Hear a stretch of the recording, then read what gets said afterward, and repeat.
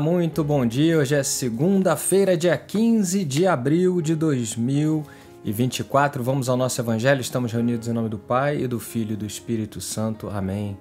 Senhor nosso Deus, ilumina nossas mentes, corações. Pela luz do seu Santo Espírito, nosso Espírito Santo Consolador, aquele que nos apoia, nos leva por essa vida com força. Pai nosso que estais no céu, santificado seja o vosso nome. Venha a nós o vosso reino, seja feita a vossa vontade, assim na terra como no céu. O pão nosso de cada dia nos dai hoje. Perdoai-nos as nossas ofensas, assim como nós perdoamos a quem nos tem ofendido. E não nos deixeis cair em tentação, mas livrai-nos do mal. Ave Maria, cheia de graça, o Senhor é convosco. Bendita sois vós entre as mulheres, e bendito o fruto do vosso ventre, Jesus. Santa Maria, Mãe de Deus, rogai por nós, pecadores, agora e na hora de nossa morte. Amém. Glória ao Pai, ao Filho e ao Espírito Santo, como era no princípio, agora e sempre. Amém. Santo anjo do Senhor, meu zeloso guardador, se a ti me confio a piedade divina, sempre me rege, guarda, governa e ilumina. São Miguel Arcanjo, defendei-nos no combate, cobri-nos com vosso escudo contra os embustes e as ciladas do demônio. Ordene-lhe Deus instantemente o pedimos. E vós, príncipe da milícia celeste, pelo divino poder, precipitai no inferno a Satanás e a todos os espíritos malignos que andam pelo mundo para perder as almas. A cruz sagrada seja a minha luz, não seja o dragão o meu guia. Retira-te, Satanás, não me aconselhes coisas vãs, é mal que tu me ofereces, bebe tu mesmo do teu veneno. Levanta-se Deus intercedendo a bem-aventurada sempre Virgem Maria, São Miguel Arcanjo e todas as milícias celestes. Sejam dispersos os seus inimigos e fujam de sua face todos os que vos odeiam nos odeiam. Em nome do Pai, e do Filho e do Espírito Santo. Amém. Vamos ao nosso evangelho de hoje. Pegue a sua liturgia diária. O nosso evangelho está em João, capítulo 6, versículos 22 ao 29. Depois que Jesus saciara os cinco mil homens, seus discípulos o viram andando sobre o mar. No dia seguinte, a multidão que tinha ficado do outro lado do mar constatou que havia só uma barca e que Jesus não tinha subido para ela com os discípulos, mas que eles tinham partido sozinhos. Entretanto, tinham chegado outras barcas de Tiberíades, perto do lugar onde tinham comido o pão depois, que o, depois de o Senhor ter dado graças. Quando a multidão viu que Jesus não estava ali, nem os seus discípulos, subiram as barcas e foram à procura de Jesus em Cafarnaum. Quando o encontraram no outro lado do mar, perguntaram-lhe: Rabi, quando chegaste aqui? Jesus respondeu: Em verdade, em verdade vos digo Estás me procurando não porque vistes sinais, mas porque comestes pão e ficastes satisfeitos.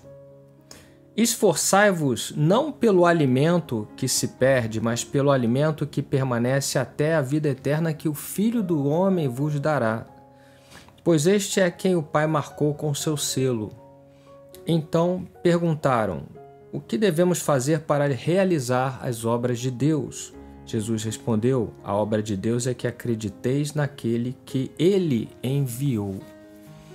Muito bem, as pessoas procuram a Deus por questões do mundo, questões materiais. Isso é fato. E não é de hoje, como vocês podem ver, é uma situação que estava presente no tempo de Jesus. Aquelas pessoas tinham necessidades materiais. No caso ali, a questão do pão. Pão farto com peixe de graça, não foi isso?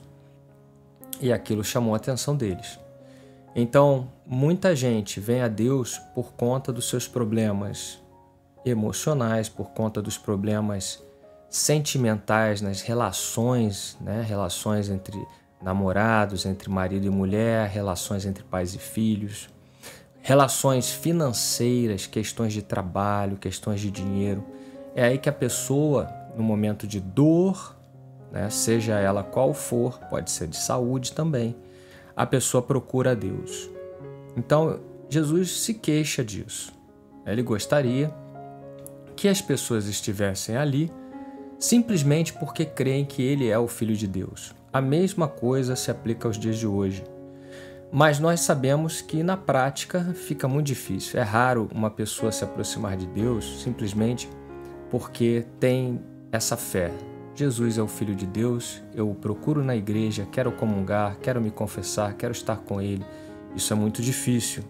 Nós vemos que, sem medo de exagerar, 80% das pessoas que procuram a Deus passaram por algum evento mais complicado, né? se sentem oprimidas por algo, têm necessidades que no mundo material estão tendo dificuldades em obter.